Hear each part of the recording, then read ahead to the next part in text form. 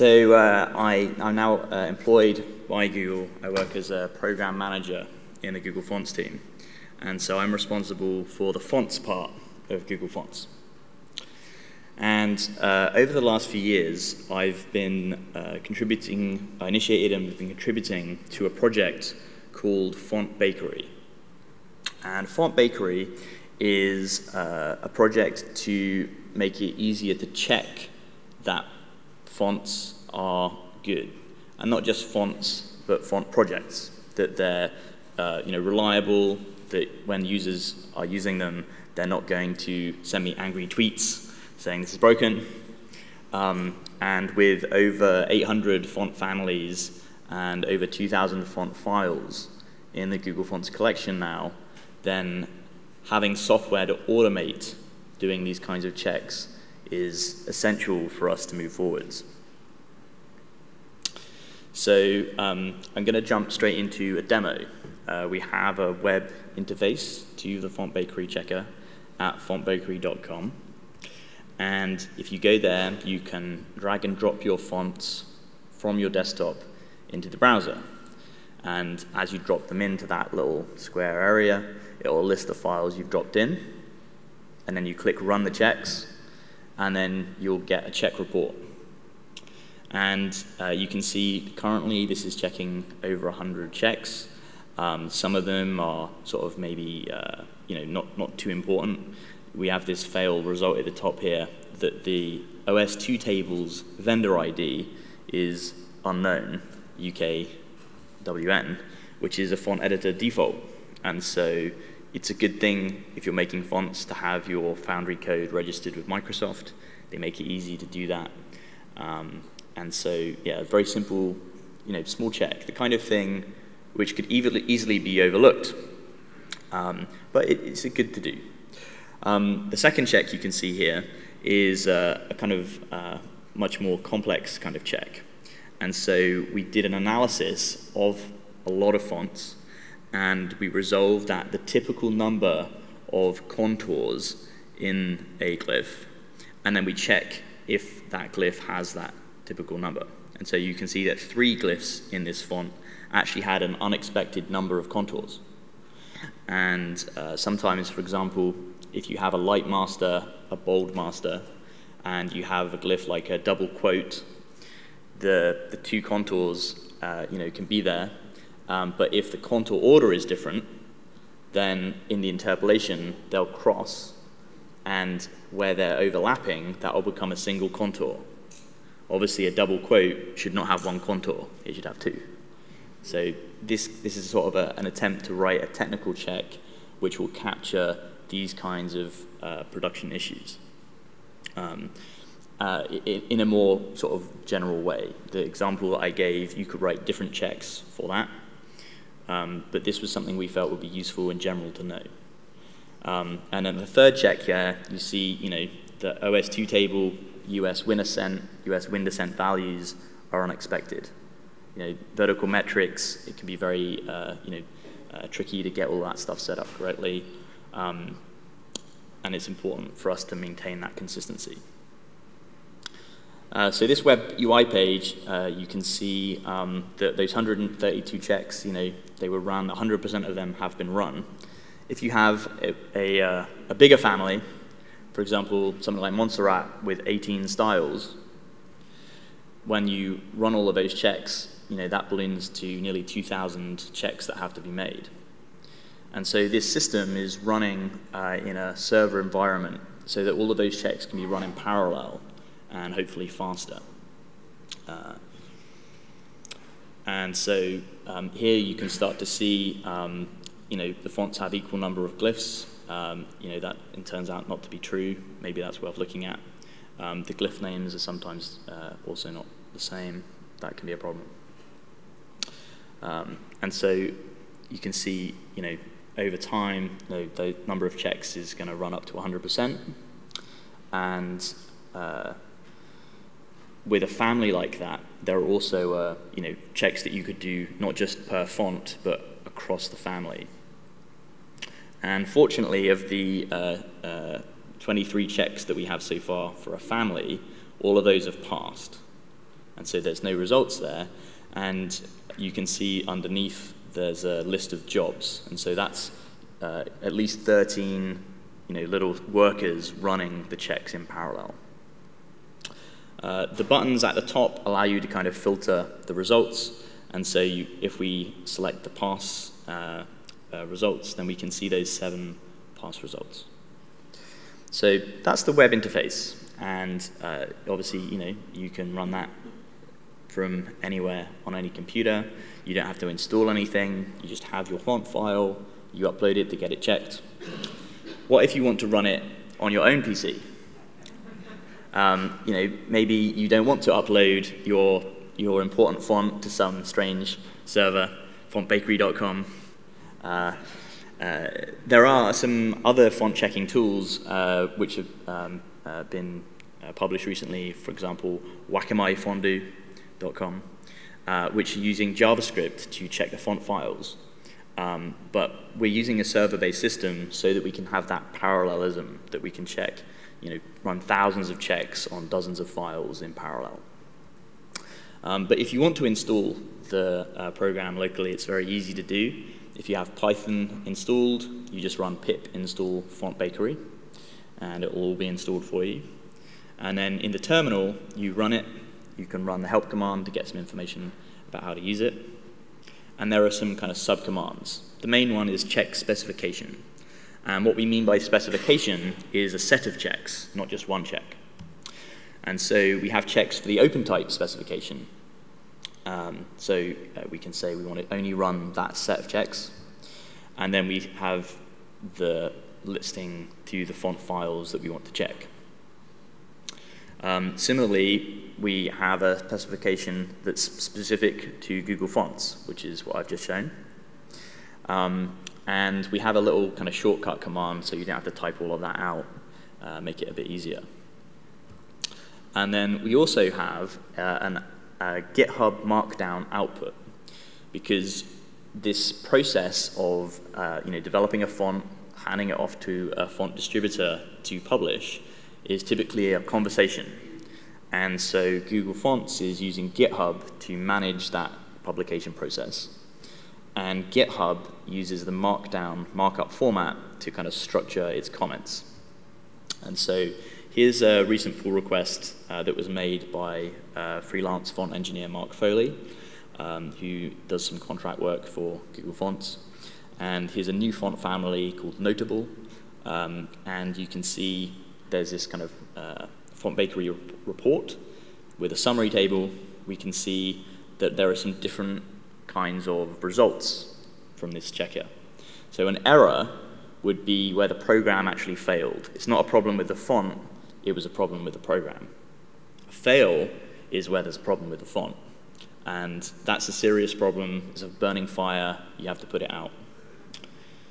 Of course, there are a lot of things which you could warn the, uh, somebody about, but it requires some human judgment, you know, that maybe it's okay, maybe it's not okay, it needs to be considered. And of course, a lot of checks can be skipped. For example, this is just a single style font family. Um, and so all of those family checks can just be skipped. Um, some things are just for information purposes, and then, you know, it's a good thing a lot of fonts have passed here. And so um, this uh, Font Bakery report is actually expandable. So you can expand that out. You can see what the checks were at the family level. And Font Bakery is offering not just checks for uh, font files, but font projects. So for example, the description file here was missing, and we want a description longer than 200 uh, bytes. And in that font bakery report on GitHub, there's a link to the check itself. So all of the code for Font Bakery is online, and that link goes to a code search for that check ID.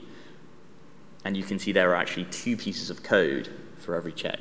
There's the check itself, and then there's a test that checks that the check is working correctly. And that means that as changes are made to the check over time, we can be more sure that it's still going to be functioning correctly. So under the hat here, we have this QA framework for testing fonts. It can test you know, TTF and OTF binaries. Um, it can check source files, whether they're for glyphs or UFO, and related kind of project files, descriptions, um, even things about, you know, if you have a project um, in GitHub, do you have a README, do you have a little uh, sample image, things like that. And so we kind of want this to be batteries included. We want to have it all of the useful checks that people uh, can rely on.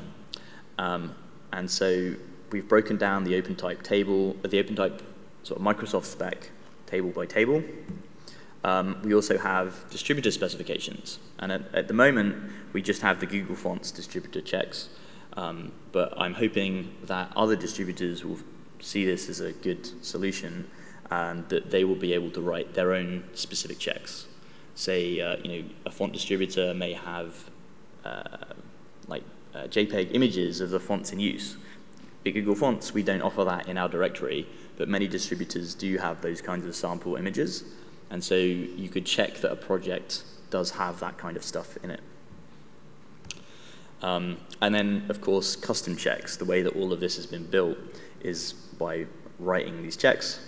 And so making it easy to write custom checks is important for us.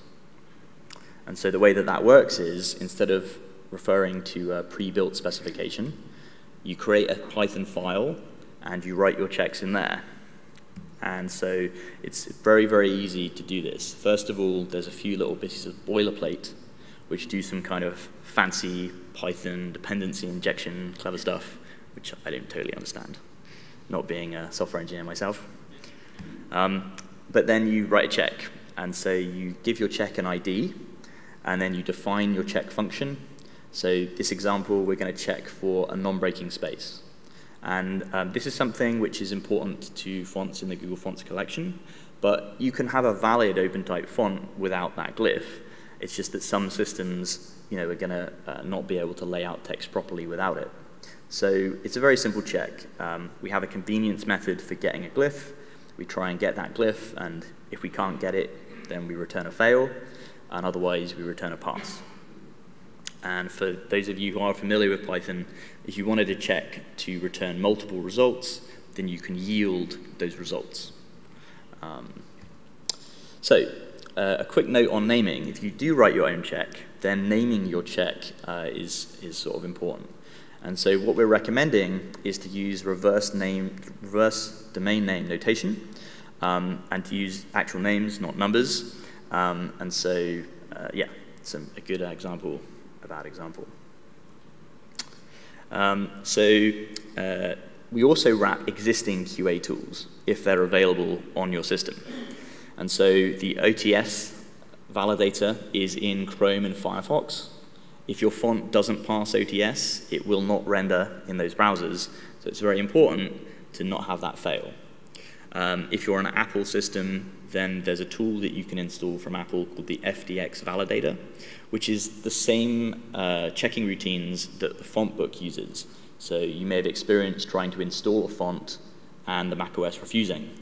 So you can get ahead of that, you can run those checks, get those results.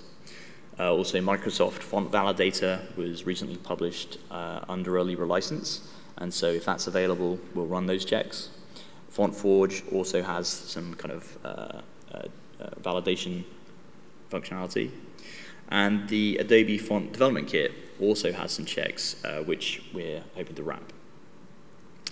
Um, there's a command line interface. This is all Python 3 code now, uh, as of the release this week. It's all Libre licensed. It's all on GitHub.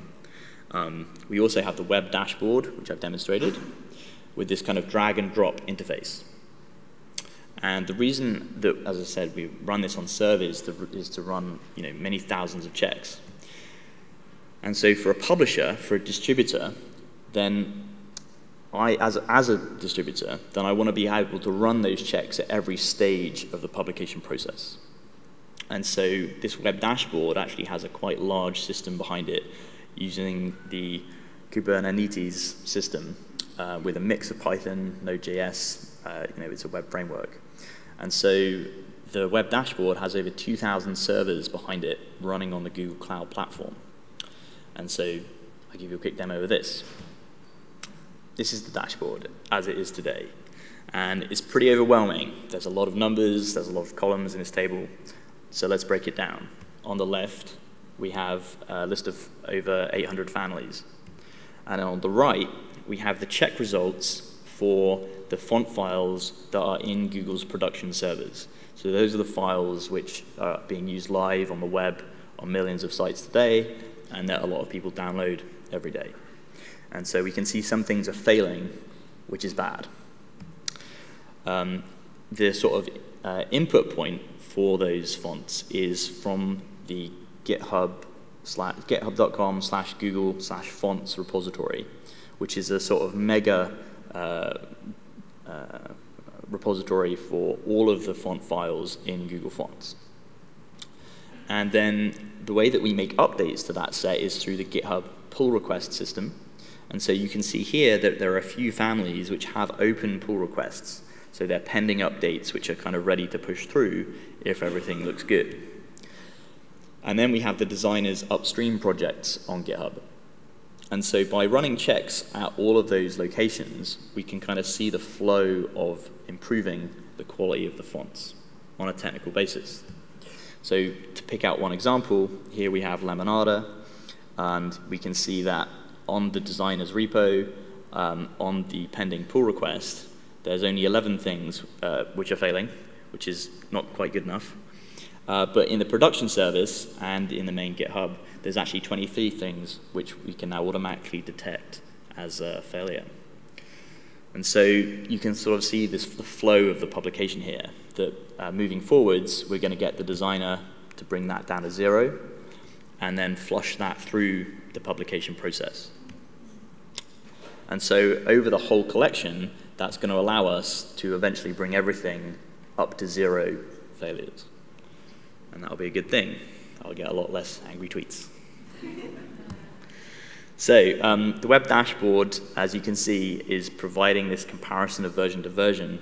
And so we have version comparison software under development this year. Um, and so that starts with technical comparisons. So here was a quick uh, technical diff that Marc made uh, for the Roboto Slab project. And you can see OS2 table attributes were modified. Um, we also test uh, mark-to-mark -mark positions. Uh, obviously, that's a, that's a big deal, accents shifting around. We can see where new ones were added. We can see glyphs that are missing. We can see glyphs that were modified. And we have a little function that tries to measure how much they were modified by. Um, we check the name tables, see if any name table items got dropped out, if things were modified, what was changed. Uh, even the kerning is being checked. And so we can see that this was completely respaced by the designer in the latest update. We can see some kerns were missing, a lot of kerns were modified, and there's some new ones too. That's good. And so if you want to install this and play around with it, again, it's very easy to install. If you have Python, just pip install the font Diffenator. And we're also working on visual comparisons, and uh, integrating that into the directory is on the roadmap. So this project exists because we want to be able to accelerate the onboarding process. Um, as many of you who have contributed to Google Fonts may know, updating fonts can be very slow. Um, and that's because it has to be done carefully. So the only way we can scale as a distributor is to have more automation in this process. And by making it available under a Libre license you can run on your own computer, then hopefully you can start to run these checks yourself and uh, even contribute to them you know, everybody cares about quality, and nobody is going to benefit by shipping buggy fonts. The open type specs becoming more and more complicated, and a lot of uh, Foundry's in-house QA tools are often old. The Microsoft Font Validator hasn't been updated in many years um, until it was open sourced, uh, and um, using it, you kind of had to know which things you could ignore, which things were actually, you know, uh, real serious failures. So we wanted a modern tool uh, which you know is complete that wraps all of the other checkers. Um, the project has evolved over the years, and last year, Lasse Fister has completely rewritten it to be you know this modern, strong tool. Um, the core idea, I think, is you know that the, writing the next check is now quick and easy, And we would love to see everybody adopt this and use it across the board. So really what we want to see is more users. Um, we love people reporting issues, and we want more contributors. And so if you are a font engineer, you're familiar with Python, then we'd love to have your contributions. And um, if you write your own specs, please share them with us. Thank you.